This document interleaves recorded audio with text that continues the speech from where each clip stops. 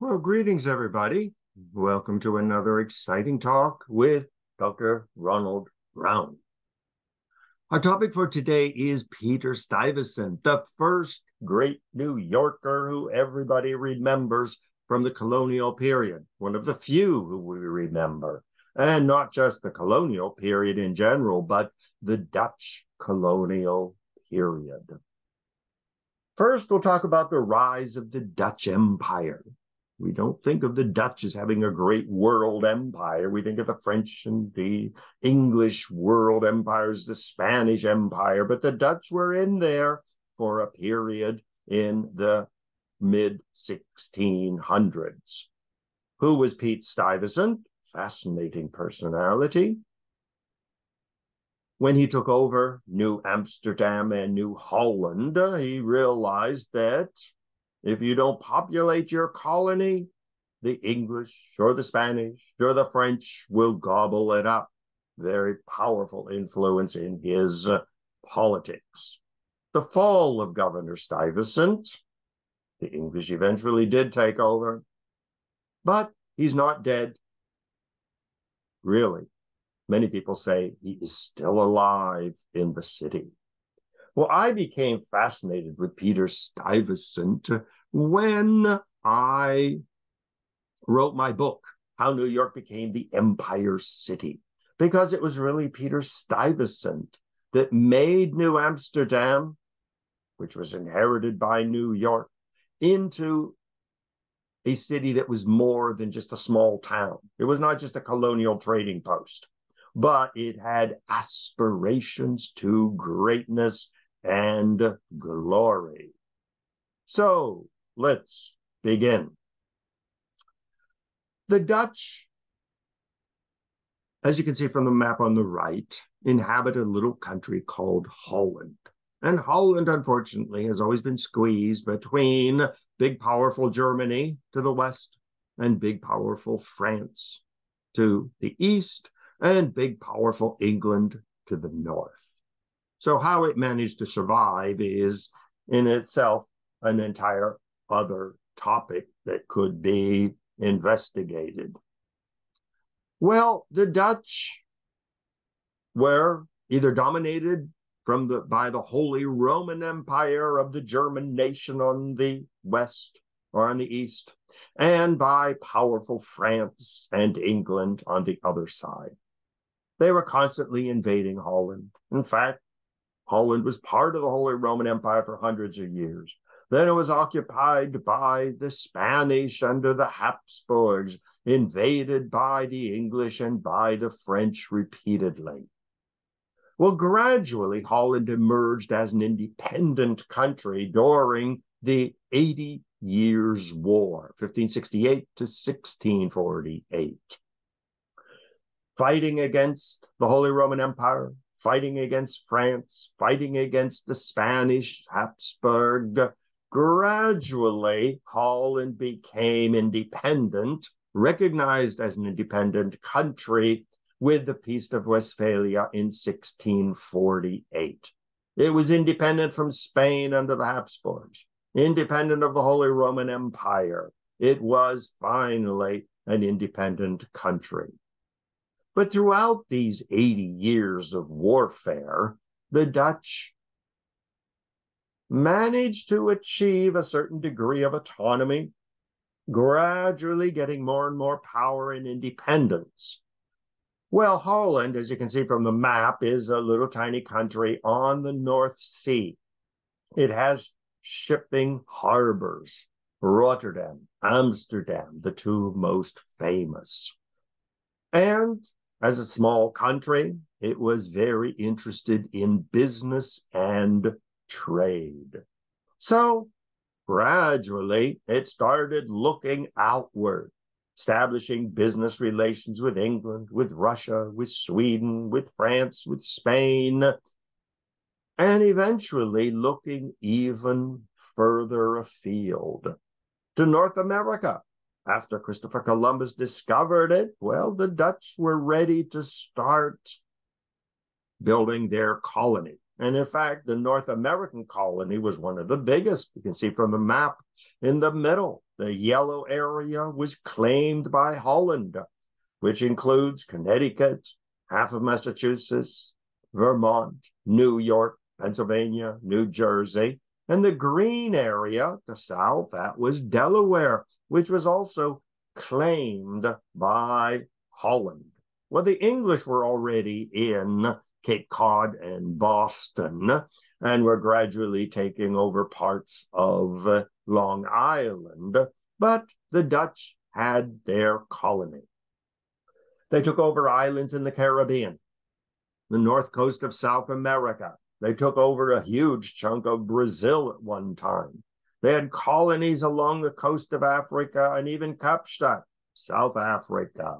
They took over eventually Indonesia. They had colonies in China, in Japan, all over India, in the Middle East.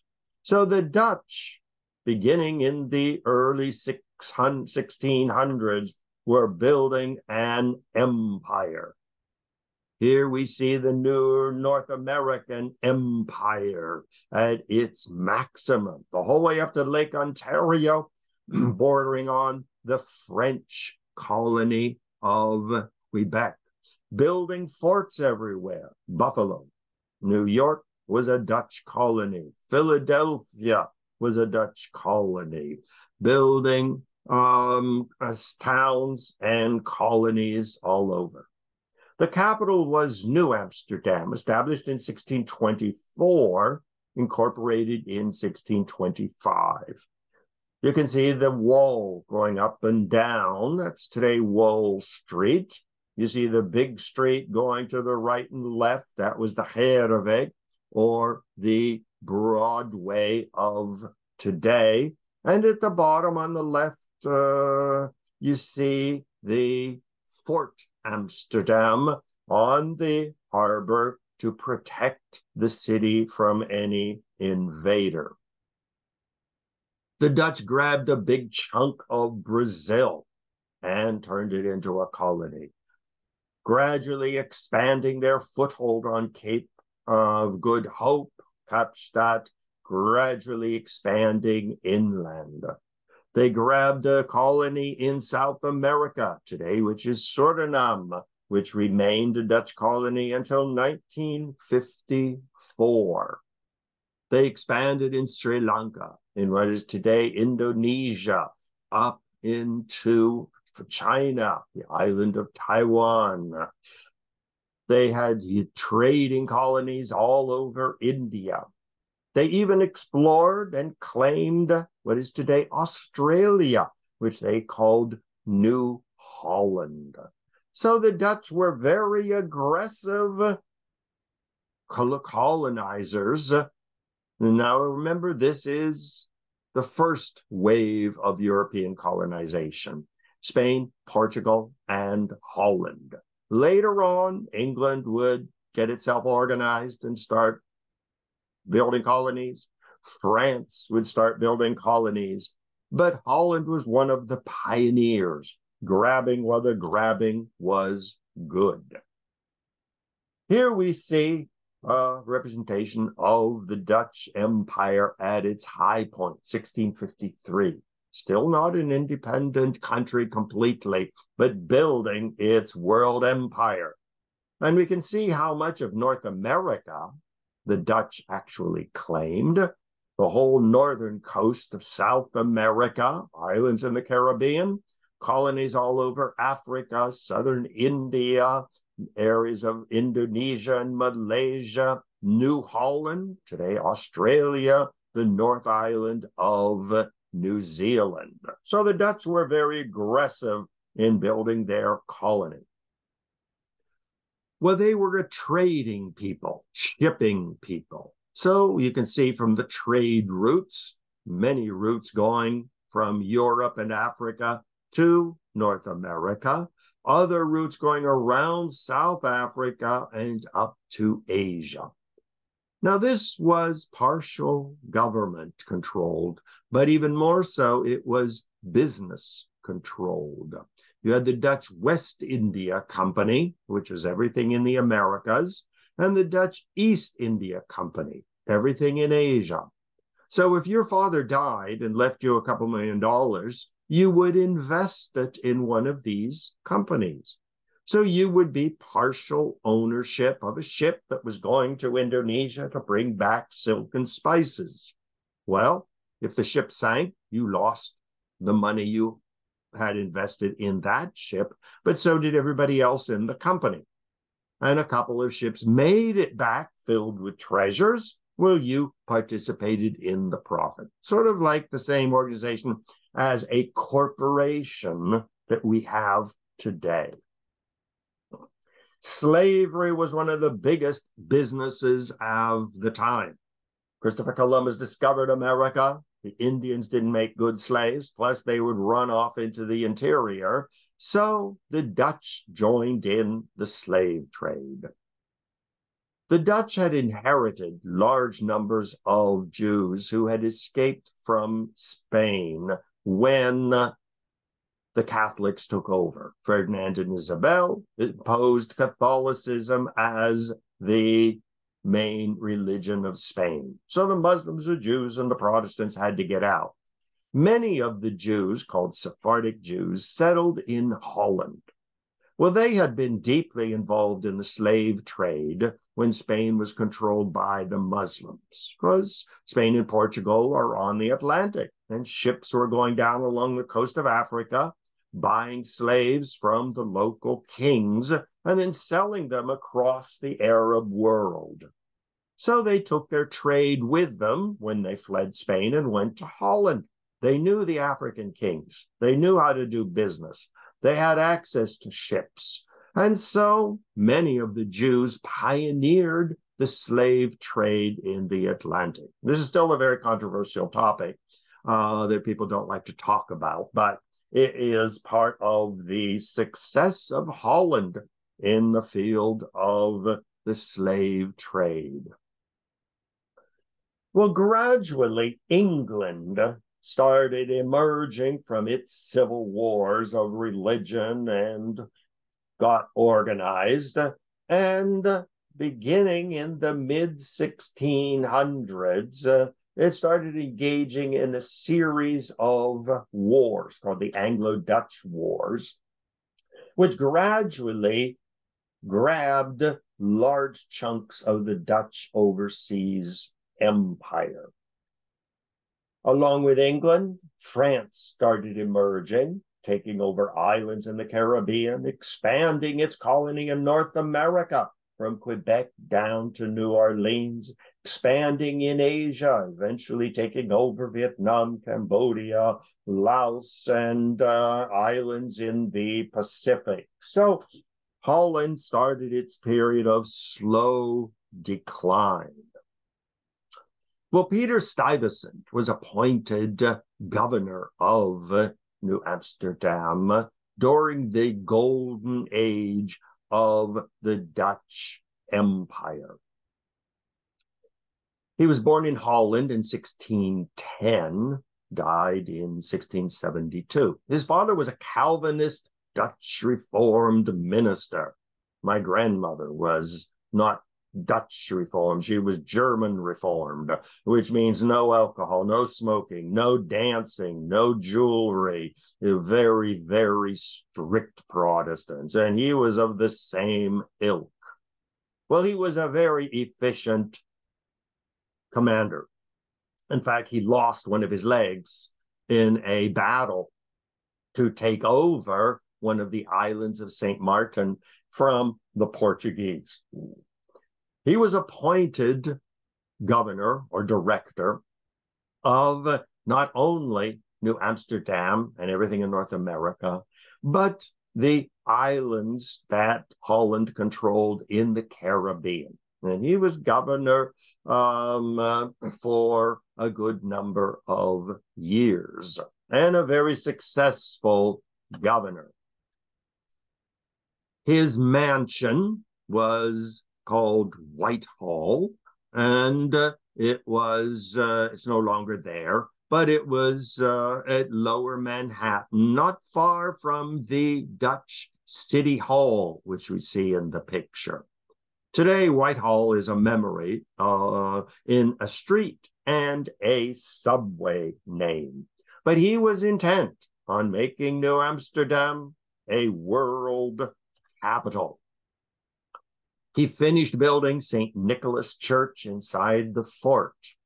There again, very strict Dutch Protestants. In fact, so strict that they banned the celebration of Christmas because there's nothing in the Bible stating that Jesus was born on December 25th.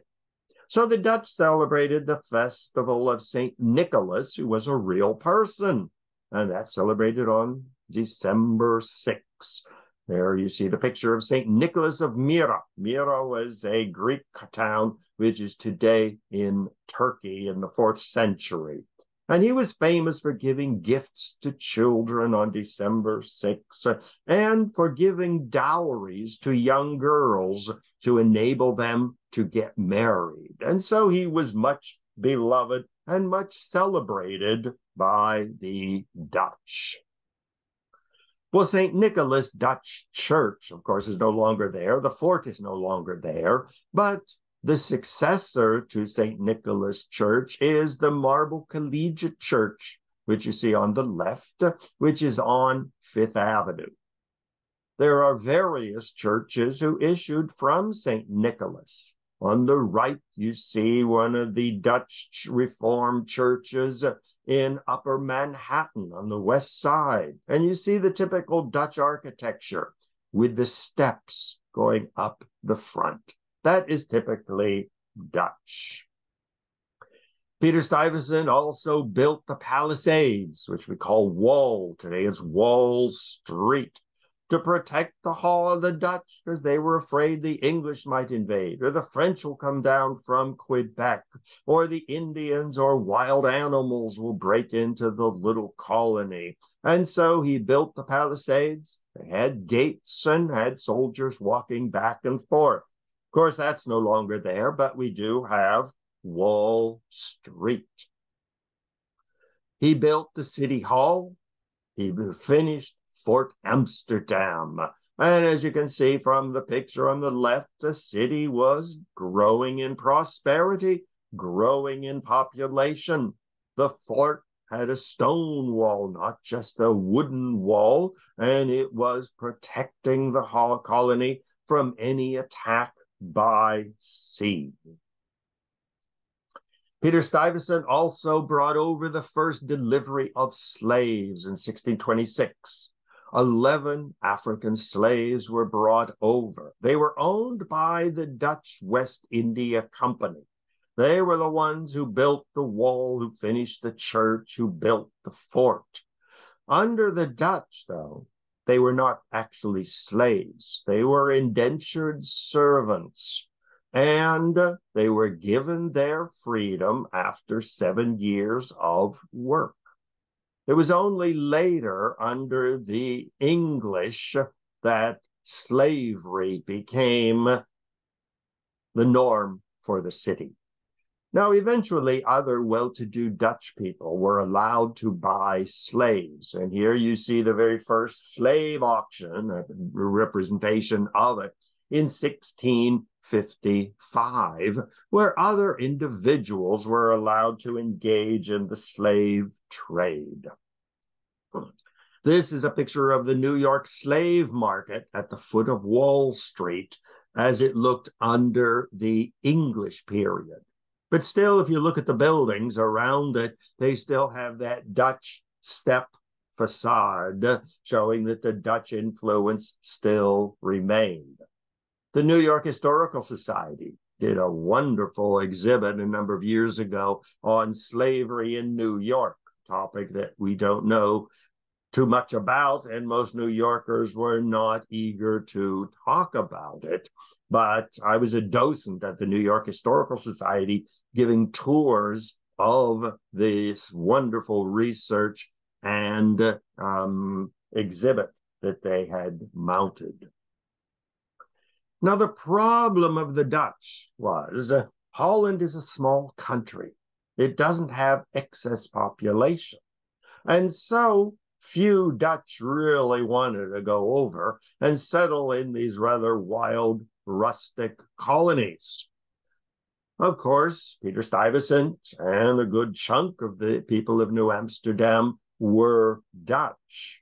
But unlike the Quakers in Pennsylvania, and unlike the Puritans in New England, the Dutch did not say that only a particular group of immigrants was favored. In fact, in New England, the Puritans would not allow non Puritans to settle in their colony. The Quakers were a little bit more welcoming later, but the Dutch realized they needed people.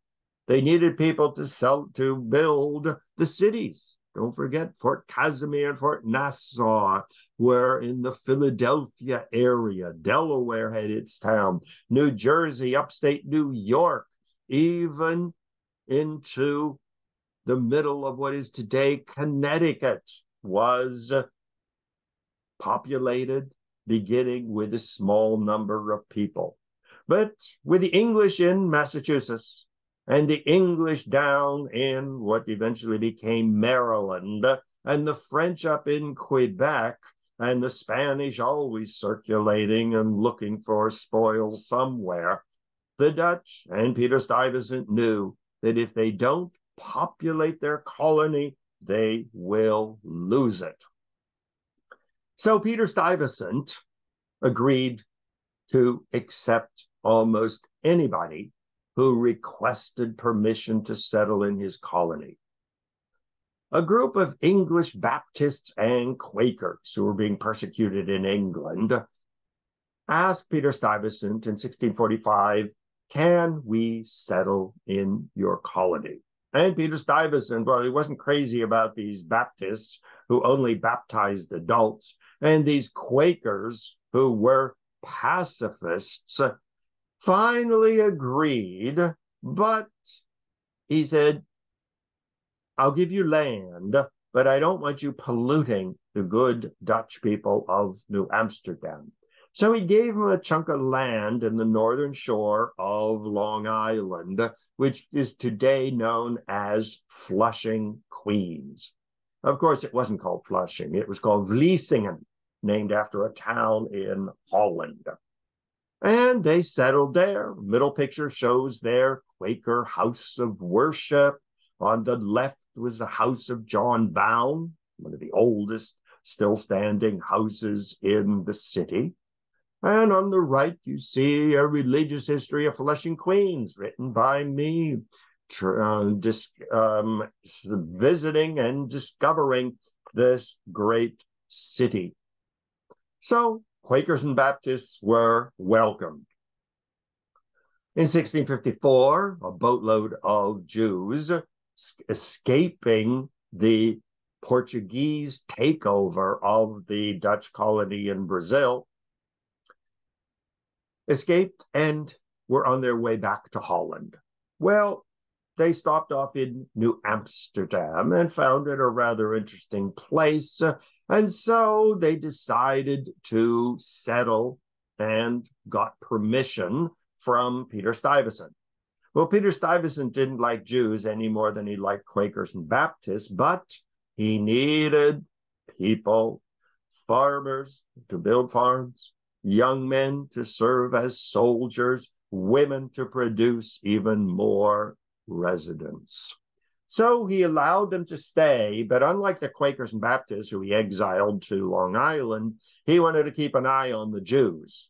And so he kept them in the city itself, but they had to live on a street called Mill Street, or most people just referred to it as Jew Street. Eventually, they became numerous enough to build their first little synagogue in lower Manhattan. But of course, since there was already a dead body on the ship that they had, were on, as soon as they got to New York, they had to request permission to build a synagogue. And so we had the Shearith Israel Synagogue as the first Jewish institution in New York. The middle picture shows uh, Shearith Israel Synagogue as it looks today on 8th Avenue facing Central Park. Another person requested permission to stay and to visit, and this was Jonas Jonsson Bronk. This is where we get the name the Bronx. We really don't know for sure if he was Danish, if he was German, if he was Dutch. We really don't know. The name is spelt various ways. Sometimes it's with a U or whatever. But this remains um, part of the history of the city. And here on the uh, uh, left, you see the oldest house uh, built in Greene County by Peter Bronk, one of the descendants of Jonas Bronk. A group of English Presbyterians, actually, the Presbyterians were from Scotland, were being persecuted in England, and so they requested permission to settle in the colony. And so Peter Stuyvesant gave them an area called Elmhurst today, or Newton, Newtown in Queens. In fact, this is the descendant of the first Presbyterian church in the area, and my house is about five blocks away from this. So gradually, more and more people were being welcomed, not because Peter Stuyvesant liked them, but because he needed people. One of the earliest groups that settled were French Huguenots who were being persecuted and massacred in France. In fact, Peter Minuit, um, was the man who bought Manhattan from the Indians, allegedly, for $24 in trinkets and, uh, and iron knives and that. And the French established l'Église Française du Saint-Esprit. Uh, and we see one of the early representations of the church. Now, the Huguenots were very, very strict Christians, very much like the Dutch Reformed. In fact, Peter Stuyvesant's wife was a French Huguenot. well, the English were expanding. Because remember, the Quakers, they weren't allowed to dance or sing or drink or all that kind of stuff.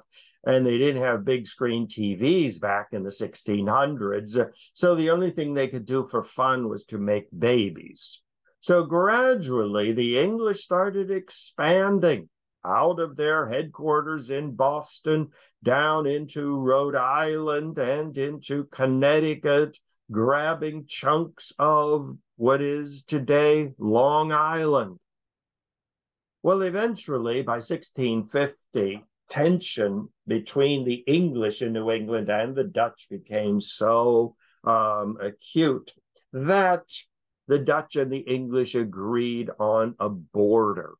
And here we see this is pretty much the border of Connecticut and New York today. But it also gave three quarters of Long Island to the English, and one, even less, maybe 20%, uh, was allowed to the Dutch. Now, Vlissingen, Flushing, is almost on the border there. So it was a border settlement uh, to protect the Dutch colony from the encroaching English. And so gradually the English and the Dutch came into competition. And don't forget, the English were already down in Virginia, claiming chunks of Delaware, moving up into Maryland, and it would eventually cross over into Pennsylvania. The French were expanding in Quebec.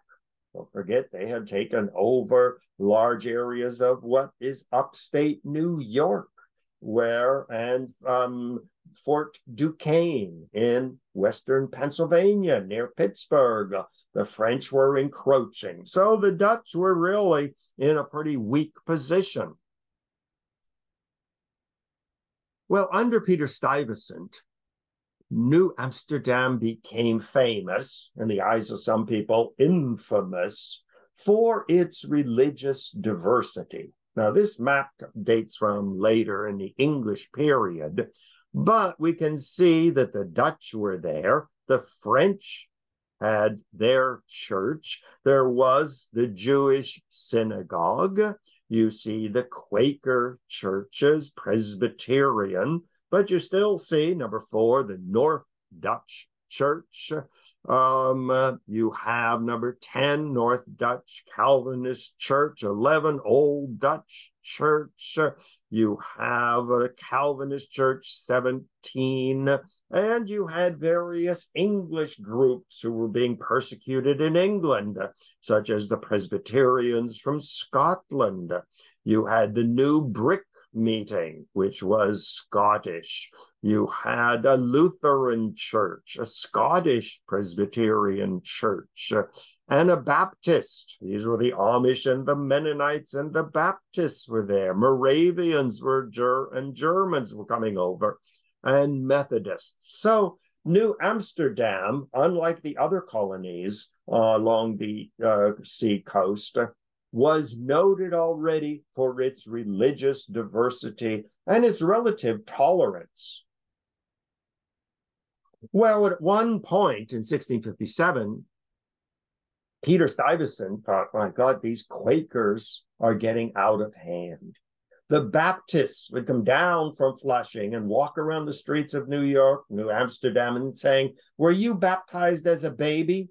And if somebody answered yes, then the Quakers would say, Well, you're going to hell because we only baptized freely assenting adults. No forced conversion by taking some poor innocent little baby to church and forcing the baby to become a Christian. That's something that Catholics and Jews did.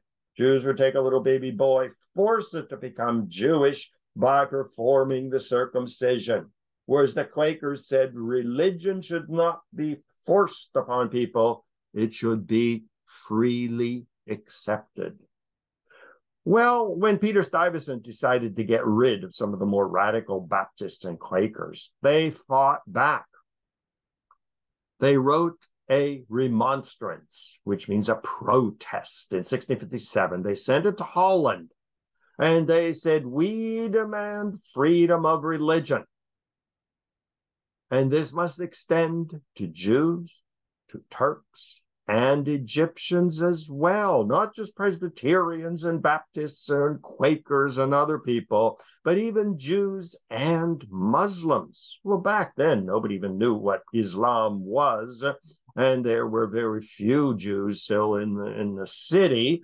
And, but yet, it was a demand for religious freedom. Many people say this is the beginning of religious freedom in America.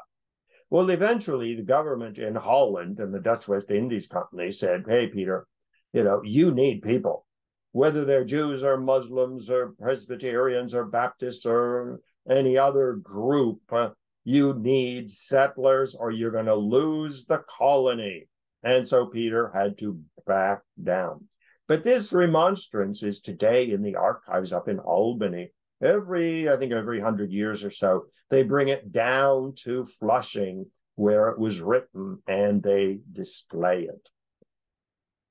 Well, the Dutch and Peter Stuyvesant drew the line at Catholics. They were a permanent threat.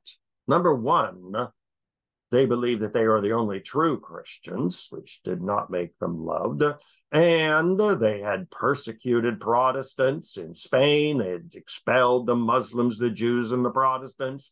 The French Catholics had expelled the Huguenots. England had a long history of warfare between Catholics and Protestants. And in the New World, little New Amsterdam was literally surrounded by hostile figures, not just the English Puritans in Massachusetts and the English in Virginia, but the French, look at the map on the right, controlled Quebec and all of the Mississippi Valley. And the Spanish Catholics were in Texas and Florida and California and just across in Cuba and Dominican Republic. And the Dutch were afraid You let one Catholic in the colony, they will invite in the French and the Spanish, and we will lose our colony. It was only after the American Revolution that the first Catholic Church was built. And in 1785, Catholicism was legalized in the colony.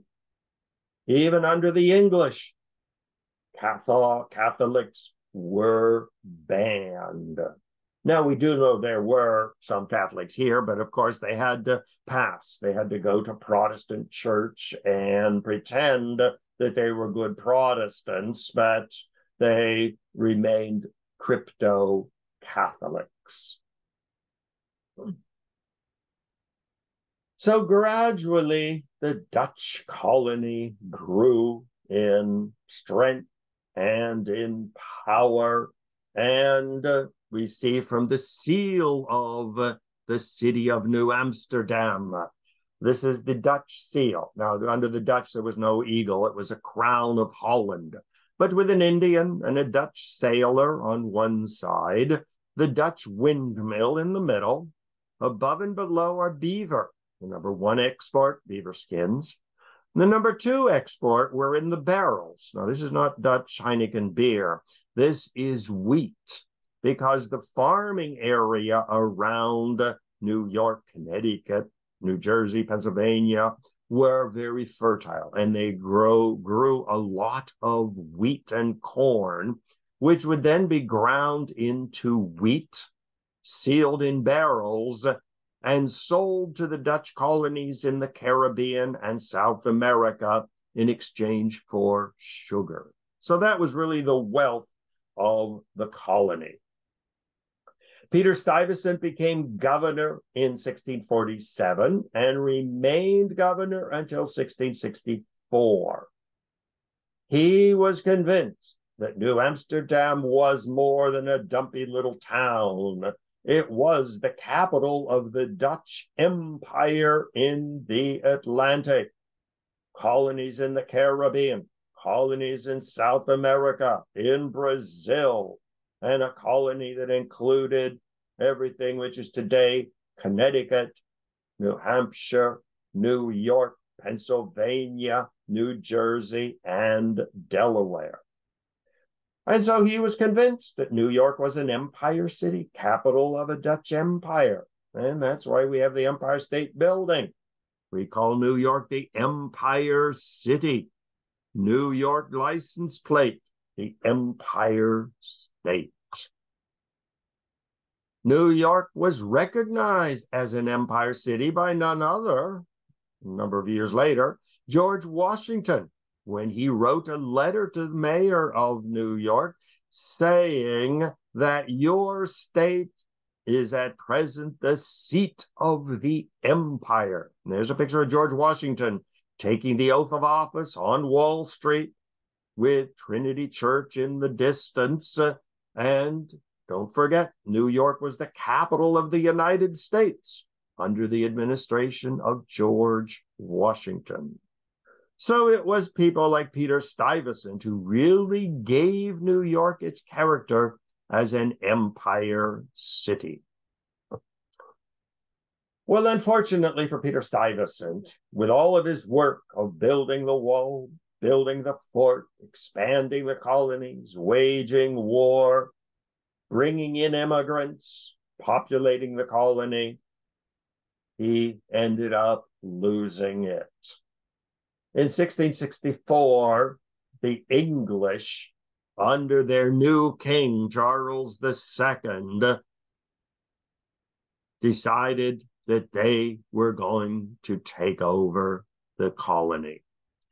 This is called the Restoration, when the English had been locked in a revolution and warfare until 1660, when Oliver Cromwell and all of this business was over and done, and the English reestablished the monarchy with Charles II, who was King of Scotland already, came down and took the throne as King of England.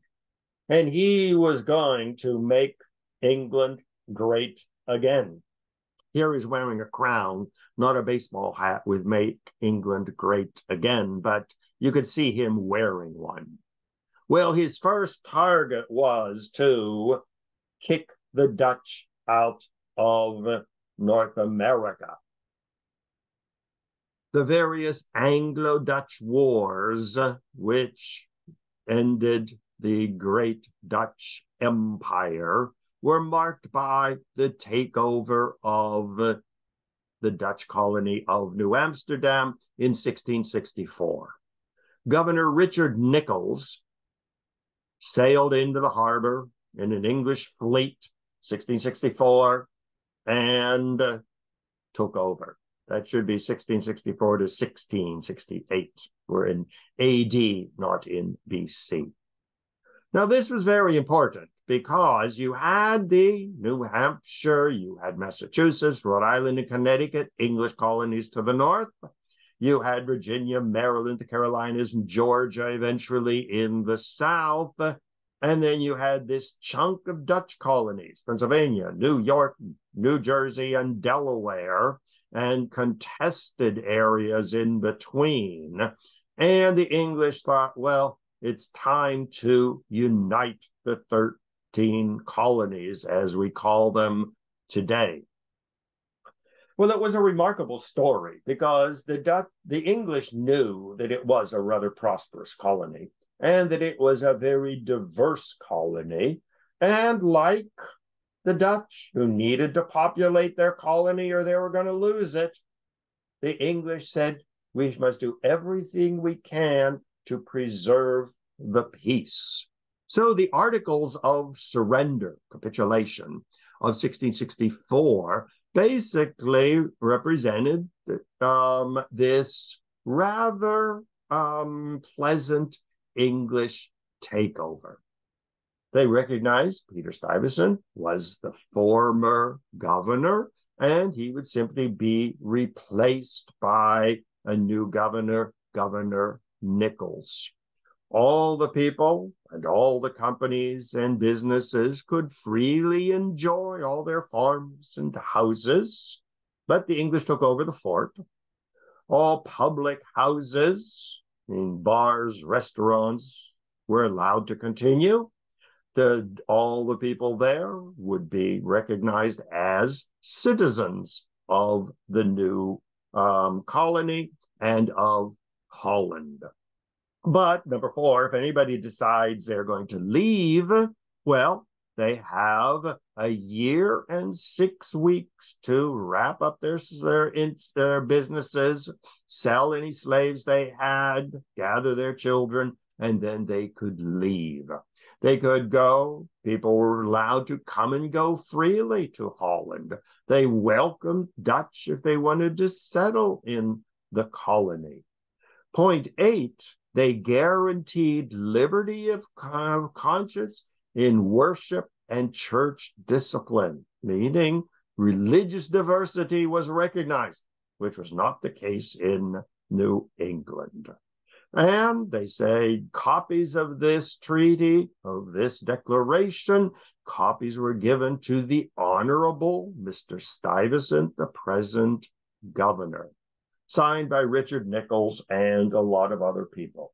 So it was a very peaceful takeover.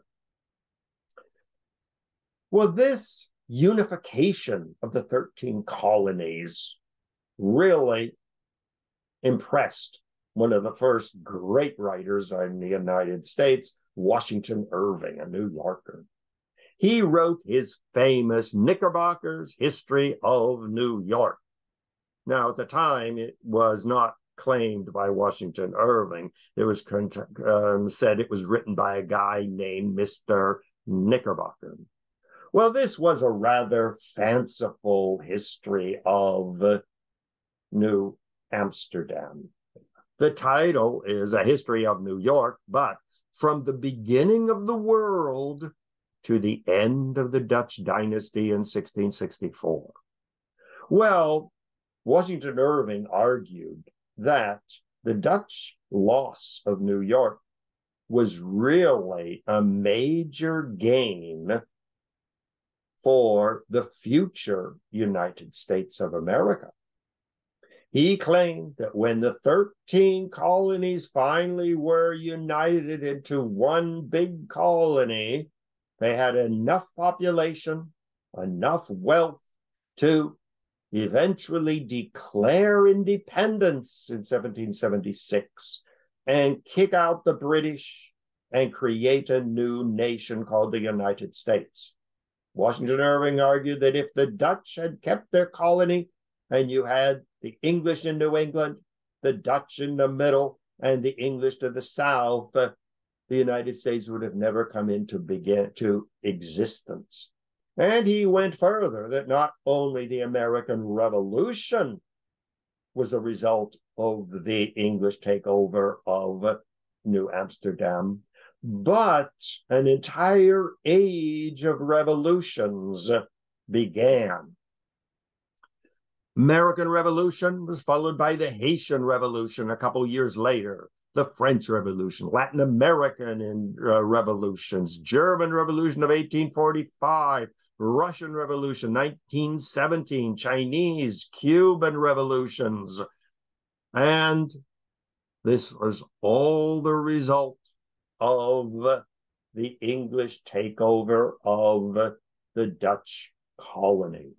In fact, Russell Shorto went so far as to say that the island of Manhattan and New Amsterdam was really the center of the world, the epic story of Dutch Manhattan and the forgotten colony that shaped America.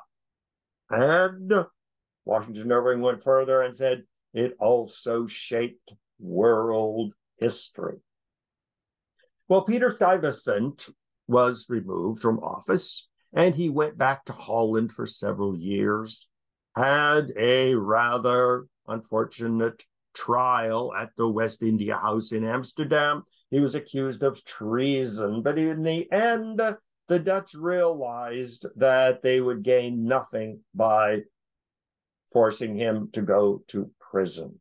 On the right, we see another painting of Peter Stuyvesant marching out of the fort. You can see the Dutch windmill in the background and handing over the governorship to Governor Nicolls. In 1667, Peter Stuyvesant returned to New York as the city had become known. Like all the Dutch in the city, he had been allowed to keep his boerderij, which means his farmhouse. Map on the left shows you what was New uh, New York at the time of the English, populated part in the point in the bottom left. And then further up in the middle, you see the Stuyvesant farm. On the right, you see how big it was. Uh, it was a very large estate with lands and forests, uh, and he built his house over uh, on in the center of it, and that's where he sent, spent his last years from 1667 to 1672. The house, as we see it here, burned in a great fire of 1778. Um, his famous pear tree, which he planted near his house, was um, severely damaged in a hurricane in 1867, and it eventually toppled over, and uh, that was gone, the last remnants of his boerderij. He did build a tiny chapel beside his house, Dutch Reformed, in 1660, and that existed until 1773. He was buried in the crypt underneath the Dutch Chapel, which is at um, East 10th Street, at Stuyvesant Street and 2nd Avenue. And the stone that you see is Petrus Stuyvesant, uh, um, which says in English, in this vault lies buried Petrus Stuyvesant, Captain General and Governor in Chief of Amsterdam in New Netherland, now called New York, and the Dutch West India Islands, died AD 1672 at the age of 80 years. Now, this is in the side of the new church, which was built to replace the Dutch chapel. That church is called St. Mark's in the Bowery, and it is an Episcopal church. On the left, you see what it must have looked like back in the early 1800s with the horses and carriages and lots of trees. In the middle, that's what it looks like today with statues of Peter Stuyvesant. Now, the entrance to the vault is, if you look at the picture on the right in the middle, it is on the right hand side up against a wall where the vault goes down into the ground. And there the Stuyvesants have been buried since Peter Stuyvesant. Well, the last male descendant of Peter Stuyvesant died in 1954. This was Augustus Van Horne Stuyvesant Jr. He was the last surviving direct Stuyvesant descendant. And there you see in the middle picture, they opened up the vault and they are sealing it up forever because there are no more male descendants. Well,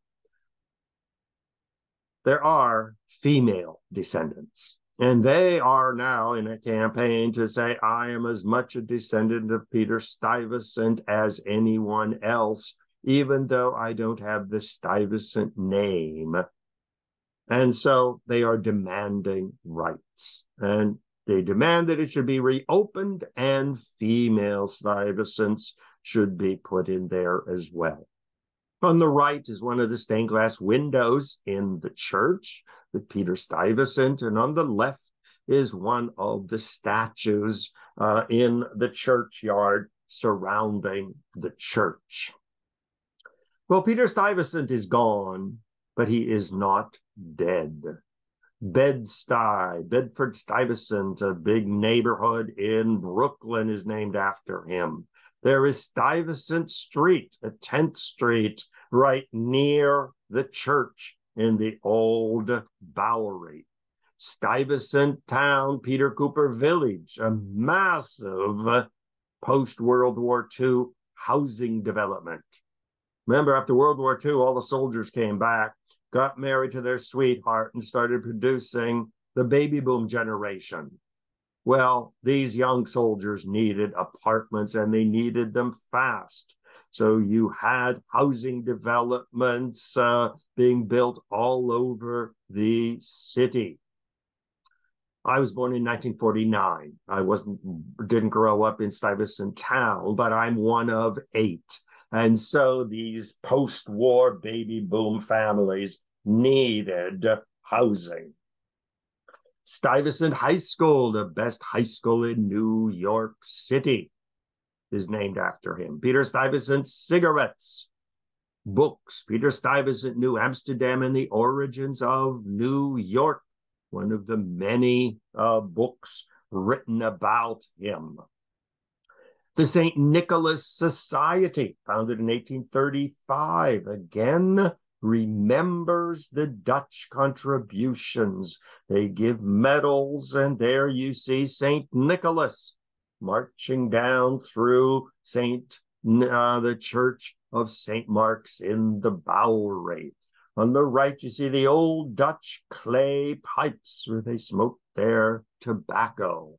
So the memory of the Dutch and of Peter Stuyvesant live on. The Society of Holland Dames, descendants of the ancient and honorable families of New Netherlands. There you see one of their gala gatherings, and on the right is their medal with the Dutch gaved houses with the step roof and old Peter Stuyvesant um, with his pegged leg.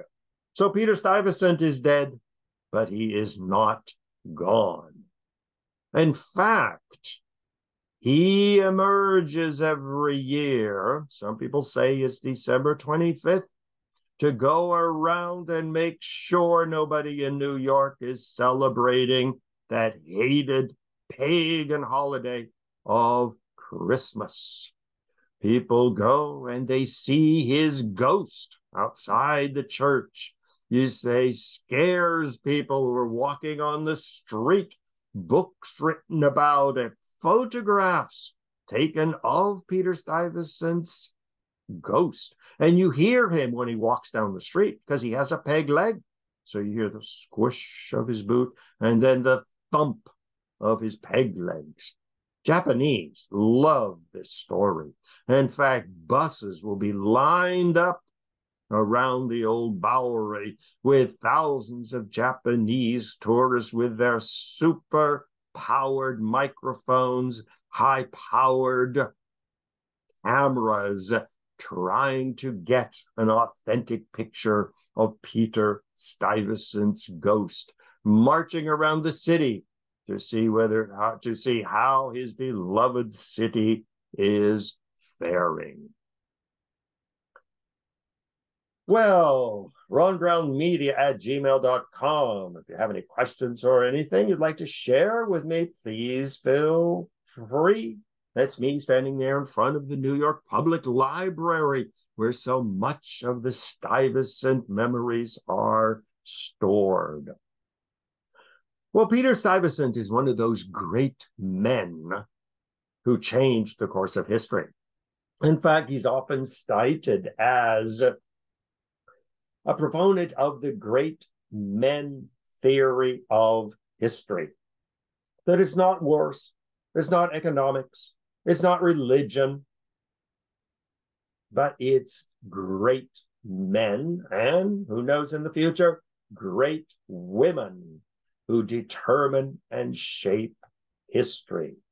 Think of today, Putin, powerful leader, in fact, shaping the history of the current world. Donald Trump off in the wings, waiting to reassume the presidency. Joseph Biden, another powerful person. Think of FDR, of Napoleon, of Hitler, of Charlemagne, of Stalin, of Mao Zedong, the great people of history.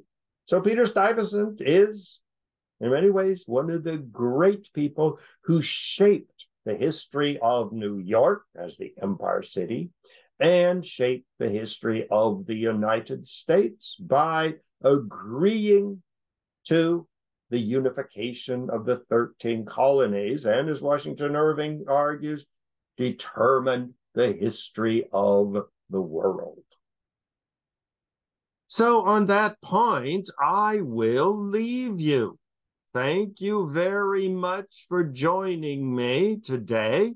And I hope to see you sometime in the future for another exciting lecture with Dr. Ronald J. Brown. Thank you very much, and I hope to see you in the future.